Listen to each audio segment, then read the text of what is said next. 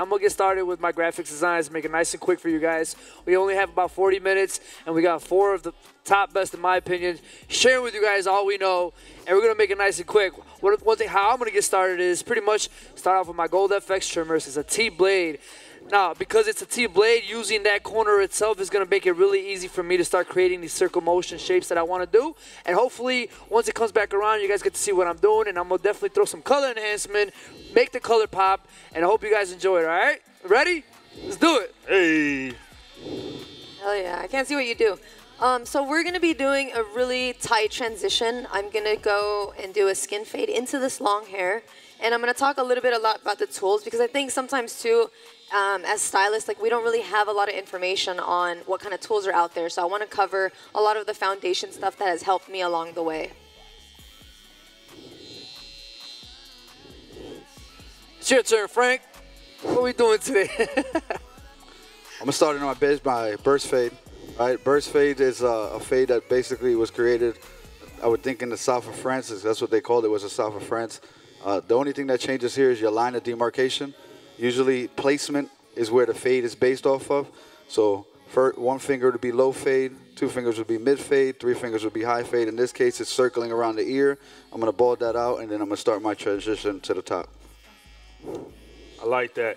So real quick, guys, what I do like about this segment that we got going on, you guys get to see a lot of different techniques. Uh, one good technique that I'm gonna show you guys is obviously working on time. We got about 38 minutes right now, but I wanna walk you guys through this fade, but also letting you guys see how to really space out your time and make sure that you're fitting in everything in and making sure that you're working good on your time. So right now I'm using my Flash FX and I'm making sure that I create my guideline. And as I create my guideline, I'm making sure when I get up to my stopping point, I'm always making sure that I'm flicking up like this, creating that C scoop motion. The reason why I'm doing this is because I want to make sure that when I come up to my stopping point, I'm creating soft guidelines, not hard ones. Hard ones are created just like this, or when you come up and you're just leaving that hair right there. So we always want to make sure that we're creating soft guidelines.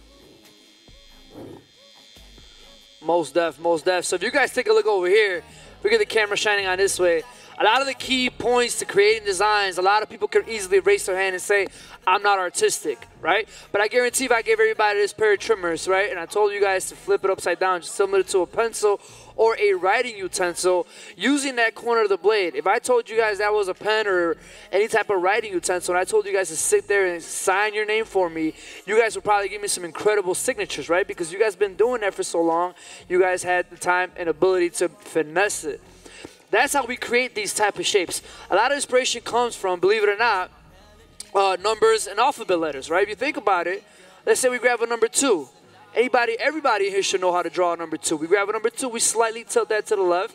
Then we grab a letter W, connect that to the number two, and slightly tilt that to the right. Just like that, we can create a simple design. You add a border around it. You could even add another letter or number on top of that. That's how we get created. Using these gold FX, because it's a T-blade, which is very important when, one, not just shaping up um, around the forehead area, but simply around the ear or clear, uh, cleaning up the neck area.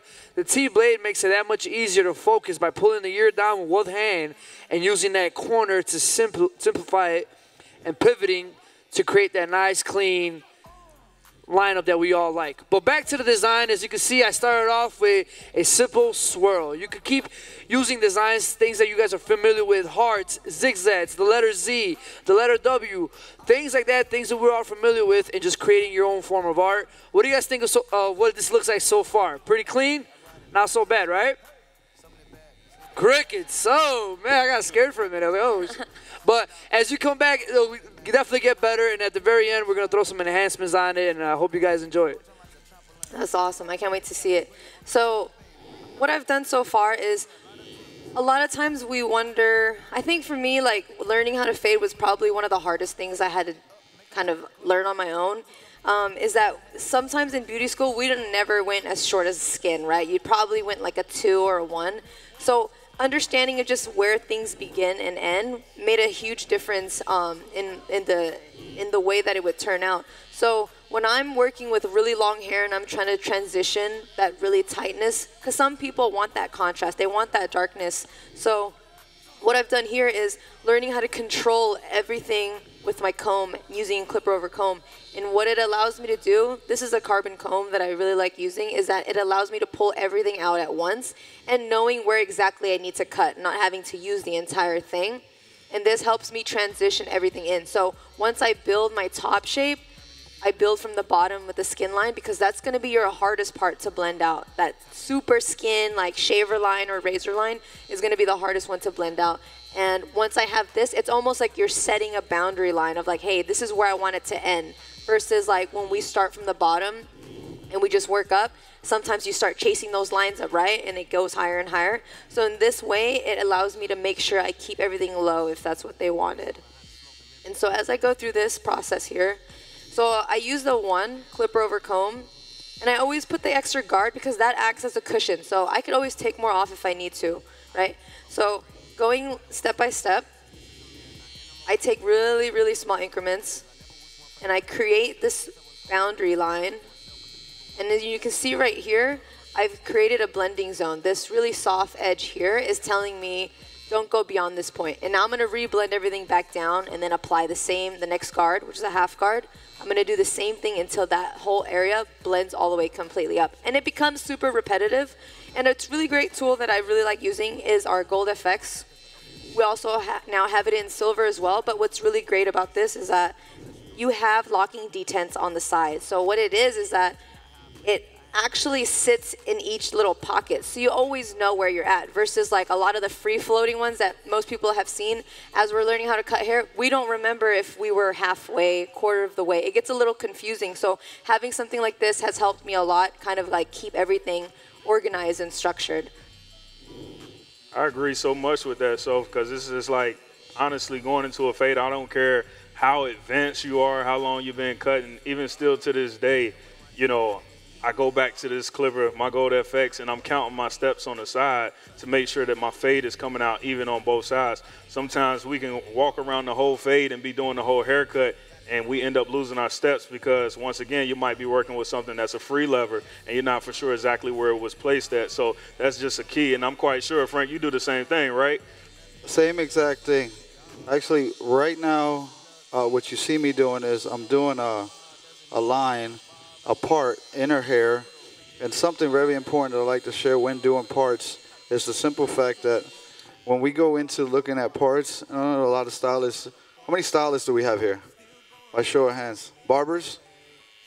Okay, so for the stylist that can't use a razor and still wants a nice clean part, it's very important that when you actually do the part, you go in one way. Right? As you can see, this is where we would mark our line, right? But also doing it the opposite way. What that happens, what happens is, is not only does the part clean on the top portion of the hair, but also on the bottom. So you see how nice that separation is without using a blade. On this side, and I left that so you can see. I've created a navigation through the haircut using open, right? So level level adjustment open, just to touch on the clipper real quick. The cutting blade, when that cutting blade is down, it's giving me a longer length cut, a longer length of graduation. When I cut, when I put it all the way up, cutting blade goes all the way up, it's shorter, it's closer to the skin. That's what I got the, the baldness from. So level adjustment open, about a quarter of an inch section. I did a 0.5 quarter of an inch section and a one and a half. What that allows me to do is it allows me to see that I have a beginning point and I also have an end point. So I don't want to go no higher than this. So for the gentleman that's also sitting in your, in your chair, they get a comb over a pompadour and you want it to lay into place and it's kind of there's a disconnection. Try to let this stuff grow by doing that, one and a half flicking out, and then create your blend. Awesome. So if you take a look over here, I'm about 85% done with the entire design. Pay attention every time we do any type of work on females, I actually like to keep it soft, round shapes. I don't like anything too straight, too sharp, too masculine.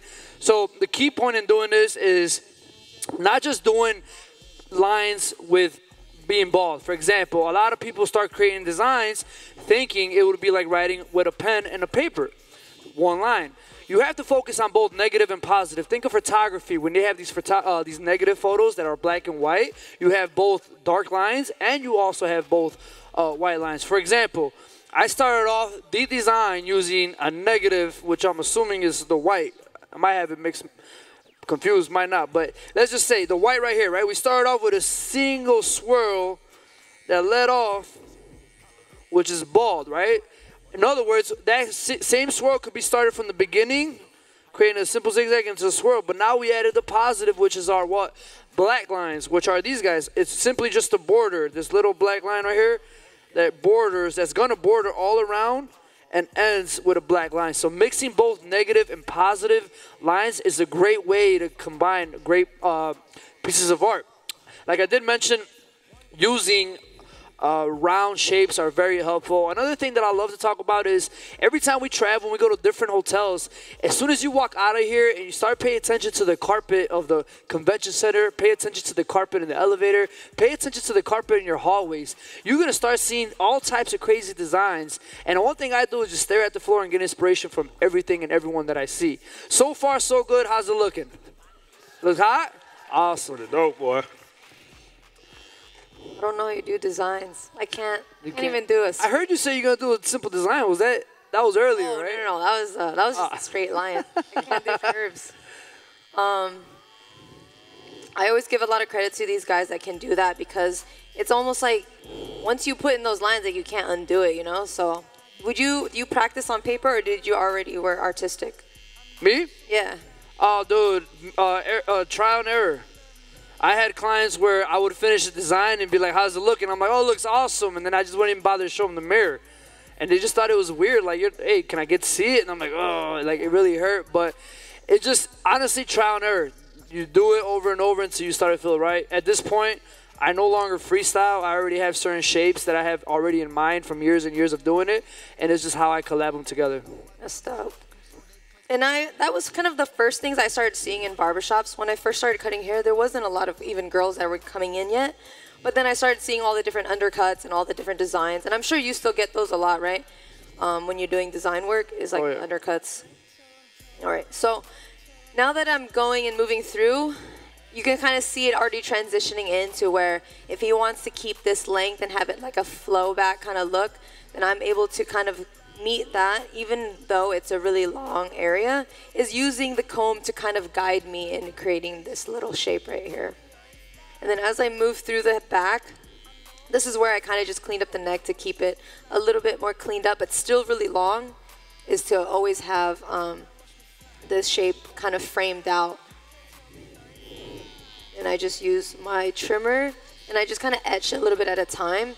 Because sometimes too, it's like if we just kind of wing it and go full on, sometimes we might take off too much and the back becomes too narrow or too wide. So I like to use just the corners to kind of guide me, almost like a like a pencil etch at first. Everything is really soft for the first pass, and then I'll go back in and make it a little bit more dominant.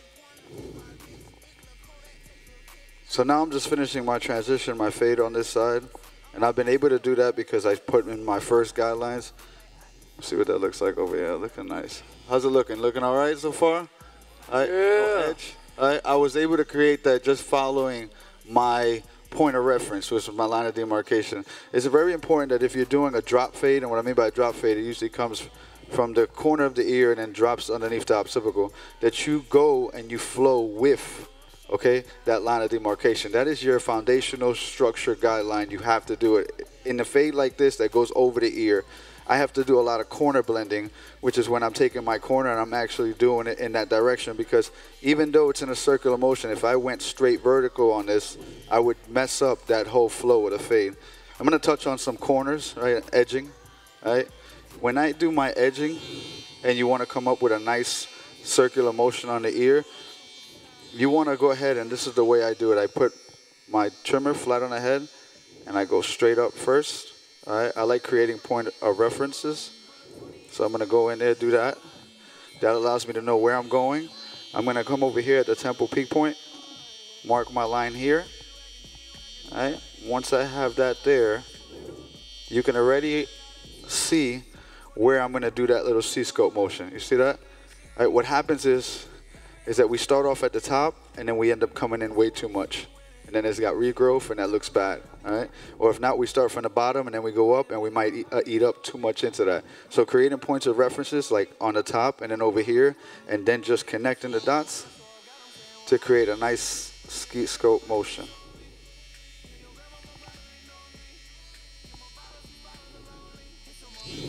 That C scoop motion, man. I, I feel like honestly, Frank is one of the most important keys when it comes to fading. Once again, guys, we're talking about with time, how I brought up to you earlier, making sure that you're watching your time and watching how your time is spent. I just pretty much faded this pretty quickly, going all the way around. I know it's certain areas that I can go back in and clean up, and that's perfectly fine. Some things what sometimes as stylists and barbers is what we do when we're cutting hair. We get into a haircut and we try to make it look perfect the first time around. And when you do that, you might look at your clock and you're like, damn, I done spent 30 minutes just trying to make it look perfect and you haven't even shaped anything up yet. So I stress it out so much to barbers and stylists. Always make sure, put the foundation down. Go into it, shape it up, style it on the top, do whatever else you got to do to the haircut, and then jump back in and do your detail work. When you do the, your detail work, that's going to help you get those small little points that you can go back and see, make it look real clean, make it look real polished, and put your signature on it. 100%. So, right now, what I'm doing, I'm currently using a straight razor. But if you guys are not allowed to use it, refuse to use a straight razor, as you can see from the very beginning and overall design, our trimmers are all zero gap compatible, right? They all come with this little device that allows you to make it user friendly to zero gap. If you're not familiar with what zero gap is, pretty much is the ability to get you clean lines, not my watch or sleeve, clean lines just using the trimmer itself. Now, barbers, on the other hand, or anybody else who's licensed to use a straight razor, it's always ideal to go over with the straight razor, clean up certain lines, and not only that, as you can see the, on the screen, how you can still see the dark of the short, the short little hair, the little dark spots. The razor will pretty much clean that up. But like I mentioned earlier, all our trimmers are zero gap compatible, still allowing you to give such clean, beautiful lines. And um, what I'm gonna do is now that I'm done with the trimmer, all I'm doing is using a straight razor. And for those of you that do use a straight razor, the only thing that I like to use is water. The reason why, these blades are extremely sharp. If you've never used a blade before, understand that it's extremely sharp. So water alone, applying it on your hand and just slowly right over the area you want to cover on, water alone is going to be enough. Trust me. Let the blade do the work. Don't apply too much pressure. The best way to go about utilizing a straight razor is to think of a sweeping motion. You never want to, if we get a zoom in on my hand, can we get a zoom in on the hand? You never want to apply the blade straight on. You always want to tilt it in a 45 and think like you're sweeping hair off, right? Same concept. You guys want to learn? Never use a blade before in your life? Practice on your thigh. Why? Two hands are free. Hair on your thigh is very, very fine. It allows you to stretch the skin down while you go up. It allows you to stretch the skin up while you go down. And if you cut yourself, at least now you will understand the pressure it takes to cut yourself. And you'll probably be more confident cleaning somebody else up because skin and latex are completely different. So I'm not a big believer on blowing up a balloon, putting shaving cream on it, and shaving it. Would you agree with that, Frank? Because I, I can hand you Frank's beard and it won't feel the same. No, I actually do agree. I mean, it's a great practice to use a balloon Mm-hmm. so you can get the motion of it, but actually stretching the skin and doing skin, like like Los said, actually doing your thighs. I actually caught Los doing that this morning. I still practice this till today. Sofie, how's your cut coming along?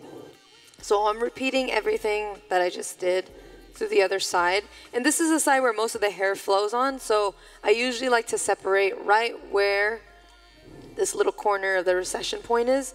And that's usually my guide for where I would split the hair to make sure that I don't lose a lot of this width as I'm styling this back.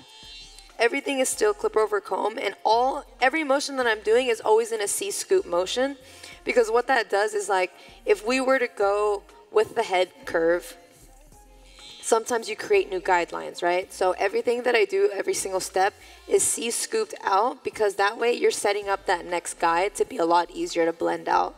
And as I keep going, you see like my original guide was straight. Whether you're straight or whether it's curved, you want to follow that same exact guideline all the way up and then you'll see the consistency kind of happen as you go. So here I'm still with my number one guard. And it's always just super nice again, just with the locking detents because I know exactly where I'm at. It's always accurate, it's always consistent, and it allows me to move without having to think about stuff. And that also kind of adds more to like your client experiences because then now you can focus more on just like building relationships with your customers, and it just makes the overall process so much more enjoying. And then another thing that's really important too is just like you know, at one point I thought fading was literally like one of the hardest things to learn. Like I used to do two hour haircuts, sweating because the guys were like fidgeting because they've been sitting for too long. And the only way to get better is that you have to keep cutting a lot. You know, like when I came from a salon doing like maybe like one or two one or two every two weeks or so. Like it's just not enough. Like, and once I jumped into a barbershop, we were doing at least like 10 to 15 a day. So if you add that up, like it's a lot of hours, but that's the only way it'll get more comfortable. And that's what it is. And Frank likes it. Um, I really like when you talk about the muscle memory stuff, you know, about the right hand, left hand. Can you explain that? Mm. You know, I, I It's haven't- hard. I love that. I, really haven't love said that all day. That's pretty good. Yeah. All right, so what I usually say is with repetition, you get better, right? Well, that's anything in life. It don't matter what it is. When you do something over and over and over again, you are going to get better. What happens is a lot of times, even coming out of school, if there's anybody coming out of school, you go into a shop and you don't do the best of haircut and you go this really is not for me. Or you're a stylist transitioning into doing men's cuts and then when you actually go and you do it it doesn't come out right. First time never comes out right if you can remember back a long time ago when you rode your first bike you didn't ride it the first time the correct way. You fell it hurt. It's the same thing in this industry right? So what she's talking about is is i say everybody see today i'm right-handed and i've always been right-handed. I cut with my right hand. If i were to try to do that line on her head with my left hand it would almost be impossible. And i'm up here educating and i'm, and I'm trying to share stuff on how to do this and do that but in my left hand i can't do it why because i don't have that muscle memory built up into it which means i don't have that same time that i put into my right hand to do it so if that's me that can be you the whole thing of the guy coming into the shop and now all of a sudden it's break time. All of a sudden I got to somebody's processing. I can't take him right now. You're only affecting yourself. You're only going to grow if you continue to put more into yourself. I always say and I emphasize, mess up a lot of hair. Okay, my Facebook page is full of messed up haircuts. That's why you can't see any of them. All right, I'm just being honest. All right. But you have to mess up hair in order to grow, and that's in anything in life. You have to fail in order to succeed. If you don't fail, you don't know what success is. Woo. Nice. Some key stuff right there, boy. Yeah. It kind of jumps in, man, where, like, just even about the finish that I was telling you guys about towards the end.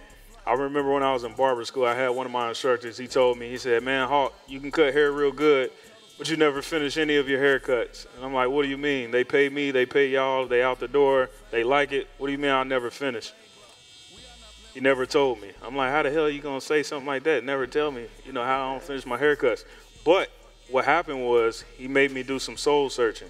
He made me try to figure out myself on how am I not finishing off my haircuts? So as the years went by, I literally had to dig in and say, what areas can I fix? What areas can I dig in to really finish off a haircut? And what I was missing was it was times where I was sending people out the door and I would look at these clients walking towards the door and I would see the haircut and I'd be like, damn, I forgot to fade that in a little bit more. Anybody ever did that?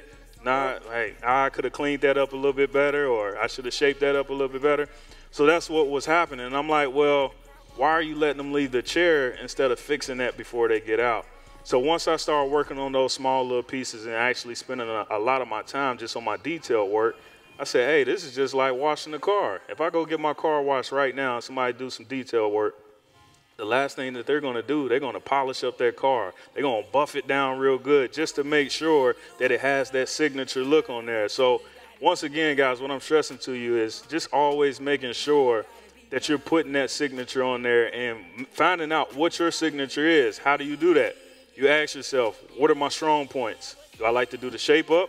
Do I like to do the fade? Do I like to do designs? And whatever your strong point is, really perfect it make it yours and once you make it yours you move on to the next thing and that's how you put your signature on Most def, most def. So I'm pretty much finishing it up. Now there's three levels to designs when it comes to me. There's clipper only or trimmer only design. Then there's blade work, which enhances and details the design, which is pretty much what we have here. There's people out there that are against color, they're against using enhancements. They feel like, oh, it's not real barbering, it's not this, it's not that. But let's take it back to when girls started first coloring their hair right? When, when girls started wearing makeup, everything has to evolve and change, and somehow, some way, people want to stand out. So this could be at a regular barbershop, fully bladed and trimmer work. What do you guys think? Cool, right? But I'm an artist. I don't just consider myself a barber or a stylist. I'm an artist, so because of that, I want to enhance this look. So it's not what I use to enhance, it's how I use to enhance. And by that I mean, a million people ask me, what is that you use? You can use anything you want. You want real color so it can last you forever. You want to use bleach so you can line it and then color it red. You want to use something that's gonna wash right off on a little kid? Go ahead. But what I'm using is is this color retouch by Rusk. The reason why, no mess, no gloves, and it washes right off. I don't have time to sit here and patch test every model I do. And it comes in a variety of colors, allowing me to pick whether she has really, really dark hair, dark brown, a lighter brown, uh, red hair, etc., etc. So what I'm gonna do, I'm gonna pick the darkest brown, and just like how you ladies will fill in your eyebrows to give it that illusion that the density is there, that's exactly what we're gonna do. And by the time it comes back to me, you guys are gonna see how much more this design is gonna pop, given it that look as she's walking down the showroom floor that people are gonna turn around and be like, "Whoa, where did you go get that done?" And is that is that important? I apply just a little bit of water so it become easier to apply, but once it dries up, it dries up in a powdery substance and makes it look completely natural. So when you do take a picture, it doesn't look wet. So hopefully by the time it gets back to me, I should be 100% done. Quick question, Los, I got for you, man. Talk to me, Hawk. So when doing enhancements on your haircuts like this, and especially when it comes to the designs, do you feel like when your model or your client is out and about that that has picked up more clientele for you just because just that enhanced look caught their eye and it just made them, you know, it draw them into the haircut? You know what? Um, it did for a while, for a long time, but for the last two years, I haven't taken any new clients. I only cut the people that I cut because I travel a lot. So my clients get cocky now. Now when people ask them where they go get cut, they're like, "Yeah, my my barber's exclusive. You can't go to him. He don't take nobody." So he speak for me, and that helps. But it does help. They're walking billboards at the end of the day, man. They promote Yeah. your work. I feel like it's like um, how they do on TV. I mean, we look at TV, we look at TV all the time, man. They see, we see um, commercials, and Burger King, McDonald's, most restaurants, they have this enhanced looking burger that you'll never get at Yep. McDonald's or Burger King. But once you get there, it, I mean, it's still good quality. You still eat it. Not It, it only I'm looks like sure that at 4 a.m. It- Yeah? It only at looks 4 like a.m. I swear the burgers, McDonald's burgers are the best at 4 a.m. But honestly, though, man, you know, we look at these enhancements that's put on TV, and that's what draws us in. And it's the same thing with haircuts. We just really like to stress that the foundation is there. If you look what Los did, he made sure that the foundation of that haircut was placed down. I mean, if that washes out, she still has a good haircut at the end of the day. So Exactly. that's what we try to stress because it is barbers, it is stylists that's out there that's using enhancements to cover up work if it's mess ups or just to put it on there because they know they can make it look good. But once it washes out, how is that foundation? So remember, place that foundation down good. That way, that person has a solid uh, cut. Beautiful, Hawk. For real. And that just goes back into presentation, you know. That's going to be your stamp, that's going to be your your image that you're going to use to market for new clients, you know. And that was what really helped me too cuz when I first started in the shop, like it was really hard to build a clientele cuz most of my coworkers were guys and they just looked at me and was just like, mm, I'd rather go to any of these dudes, you know? and so I needed to make sure that I had something to present. So it kind of helped me like, okay, if I can't get them in from just like talking to them, and the the last thing I really, really, really dread doing is trying to convince somebody like, hey, I got you. Yes, I know how to fade. Yes, I know how to do this. So I started building a better portfolio of work. So before they could even ask, it was just like, hey, here's this, check it out. And then when they were able to see it, it's like, oh, okay, I feel a little bit more comfortable. Versus me like dragging somebody to sit there, and every time I'm doing something, they're just like, Oh, the worst. right? They just keep turning. The, the, the cape gets loose and you have to keep readjusting it. So I just want to always put out my best work. And as you do that, it's crazy how many people come from different places to come get your come get services. Like I get a lot of people now where they're all rotating people that are traveling in. They're like, "Hey, like I'm going to LA, like let me try this place. Like I really want to try." And it's just like you really don't know where it could take you. And that's why I really believe that presentation and what you put out is also bringing those things back into your shop. Whether it's like all comb overs, different styles, like whatever you promote the most is what you're always going to get the most. And when it comes to more like versatility stuff, like I remember too, doing haircuts, they're like, no, I want this and, and that exactly. But now over time, I've been showcasing more variety. So now if like people come in, they're like, you know, I don't really know, but like now I trust you. What, what, what do you think looks best? And I would try to deliver it in, in the most confident way possible versus I remember asking him like, hey, let's do a taper just because I just saw it. So my tone is very slow and they're just like mm, i don't know. I'm gonna i want i want what i always get.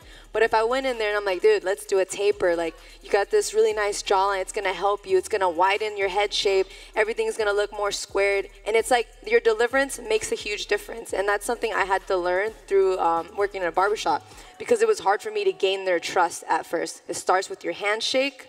You know if you go in there and you give them one of these frank let me, let me see those limp. handshakes. The limp. one of these. You know, like they're gonna they're gonna question everything you do from that point. Versus when you go in there and you give them a nice good handshake, you gotta show them like that you're in control, right? So once I got used to just like presenting and like studying haircuts, looking at different photos, like we have a lot more options now where you can see it from your phone. Versus like back in the day, you get those little books in the salon, those little coffee. They're like super outdated, right? And you and you pick from those. But now it's like they can bring a picture from Europe and give it to you, you know, and it's really cool to kind of use those as reference marks. So if I if there was a style that I couldn't do, like crops, crops are still kind of fresh and new for us. And even when I first started doing it, it was a little nerve wracking because I didn't really understand it. But I kept looking at different photos and tried to study those, and then you can eventually look at fades to where you can see exactly where someone's skin line starts, where that little half section is, and that allowed me to know, okay, when I'm doing his haircut. I'm gonna see where that where the bridge of his nose is, and that's where I'm gonna start this part. And you're literally just mimicking different haircuts. And as time goes on, you're gonna see the progression, especially on male clientele, because they're gonna come back a lot faster than your women, right? So you get to see that growth happen, and you'll and before you know it, you'll just get better and better. And it's always a really cool thing for me to like have photos to reference back. That way you can see kind of how far you've kind of come. You know, Sofie brings up presentation, and that, that, that brings me to bring up social media. Her presentation on social media is amazing. I, I came across Sofie's page, what, four years, more, five, six Five. years ago, right? Six, yeah. It's been so long, right? And she was trying to build up clientele. And what she actually built up was actually some followers as well because I followed her. I thought she was an amazing barber. Didn't look at her as a female barber. I was just like, wow, she's great. She was working at a old school vintage shop doing all these comb overs and stuff. And she set herself a look, right? Uh, I feel like, and Hawks talked about this on stage before. I feel like a lot of times, and now this is about you we go and we're looking at so many social media followers and we're following people, but how much are you investing into yourself? You know, you have to take pictures of your haircuts. Does everybody take pictures of their haircuts here? Men's haircuts? How about the bad ones? You take pictures of the bad ones too? Those are the ones you need to take Probably pictures take them, of. but you don't post them. Yeah, those are the ones you need to take pictures of. Yeah. Those are the ones you need to take pictures of because those are the ones you need to study. Anybody that got an education goes, right? And they go to school and they end up studying for something and end up being successful. But if you're failing at something, that's where you got to embrace. We can't. We got to stop patting ourselves on the shoulder and taking great pictures and then posting up for social media. Don't build followers. You'll build clients first, and then your clients will build followers. You with me?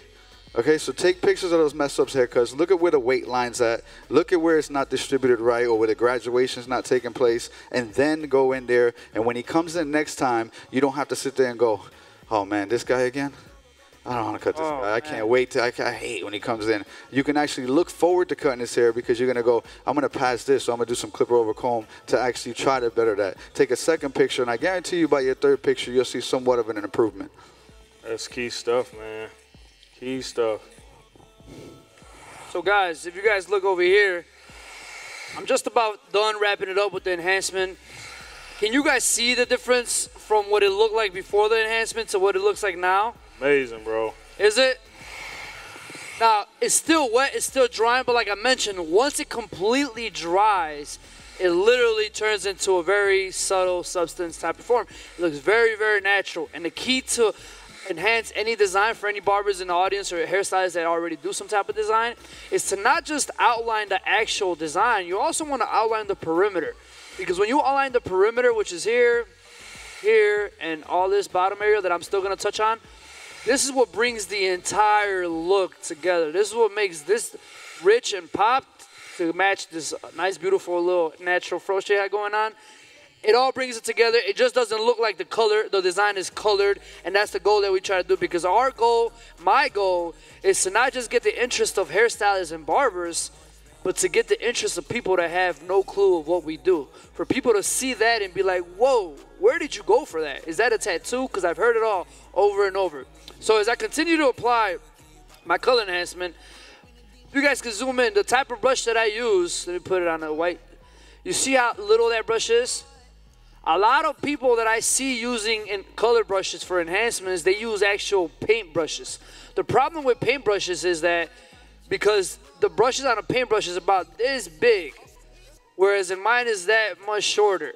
When you have a bristle that's this long and you try to target certain areas like this, what's gonna happen to the bristle when you try to apply that pressure? It's gonna fold. It's gonna fold in half. Being that this bristle is so so short and compact, it allows me to really get in there and press on it. Just how you ladies would with the mascara underneath your uh, above your eyes and all that. Same exact concept. How does it look so far? Does it look awesome? Damn Really? good.